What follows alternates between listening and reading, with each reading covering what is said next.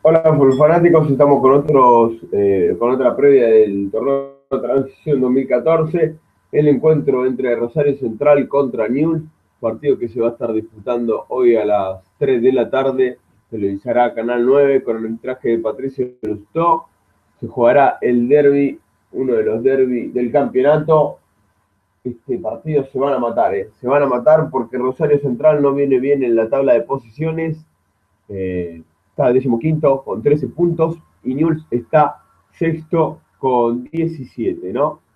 Pero si gana, eh, Central sube a 16, se pondría a 9 de River con un partido menos el conjunto millonario. Y si Newell's gana, se pone a 20, a 5 de River y lo mismo, ¿no? Con un partido menos. Eh, vamos a repasar un poco las estadísticas del encuentro y después vamos a ir a las formaciones. En el historial, Rosario Central con Newell jugaron 162 partidos. Central ganó 47, 42 Newells y empataron 73. En el Gigante jugaron 75 partidos. Como local, el local ganó 28, 11 Newells y 35 empates.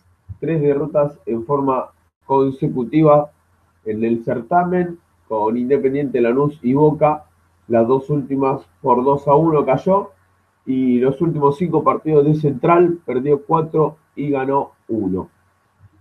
Suma cinco clásicos sin perder con tres empates y dos ganados en serie. El último que se jugó eh, del Gigante Luego ganó Central 2 a 1 en el inicial 2013 con goles de Donati y Encina. Maxi Rodríguez había descontado para el conjunto visitante. Vale recordar que ese mismo eh, partido fue el partido que llegaba a Newell invicto y que estaba puntero. Perdió ese partido y no volvió a ganar y perdió insólitamente el campeonato. Eh, la lepra lleva seis sin caídas fuera del estadio del, parque con tres empates al hilo. Cuatro sin, eh, sin ganar el campeonato con dos empates y dos perdidos. El último que ganó a domicilio a Central fue en el 2008 con gol de Santiago Salcedo. El triunfo con mayor diferencia como visitante fue en 1980, tan solo 3 a 0. Vamos a repasar las formaciones de los equipos. Los 11 de Miguel Ángel Russo serían Caranta, Ferrari, Berra, Donati, Delgado, Encina, Neri Domínguez, Musto, Becker, Franco Niel y Sebastián Washington Abreu.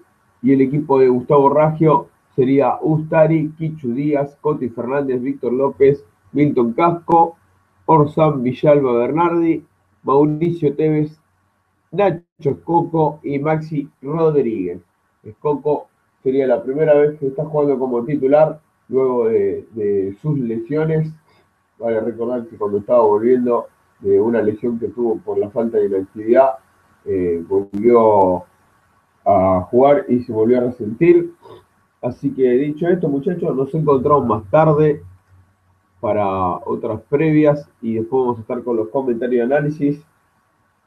Y te voy a dejar el link para que entres a ver los goles en la parte de descripción.